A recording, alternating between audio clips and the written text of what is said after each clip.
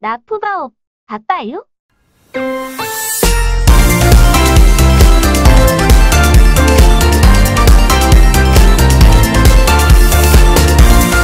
엄마의 잔소리 시작됐어요.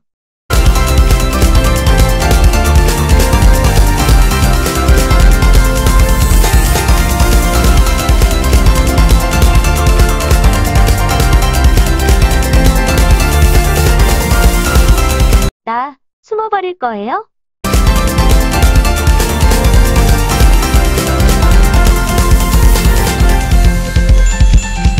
후바오를 찾아보세요.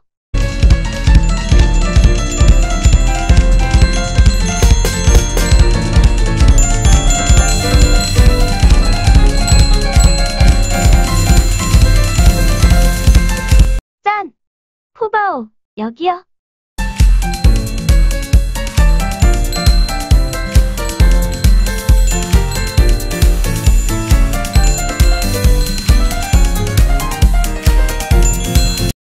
나 높은 나무에 올라왔답니다. 자작나무 숲 같고요. 태어난 지 일주일 되니까 검은 털이 나기 시작했어요. 45일째 눈을 뜨니 울 엄마가 보였어요.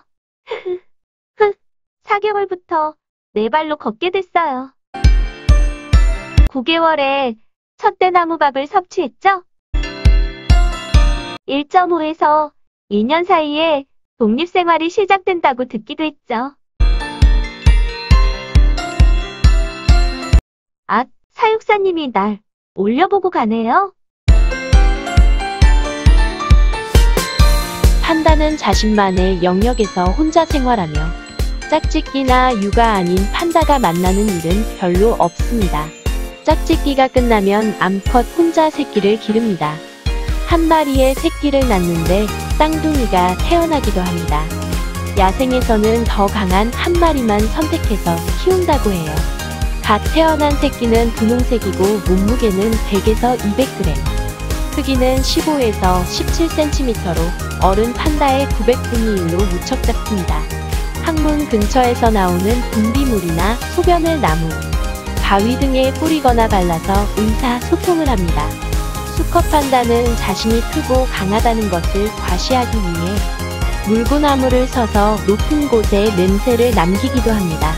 판다는 나무 타기가 특기입니다. 천적으로부터 피하기 위해 나무에 올라가 있습니다.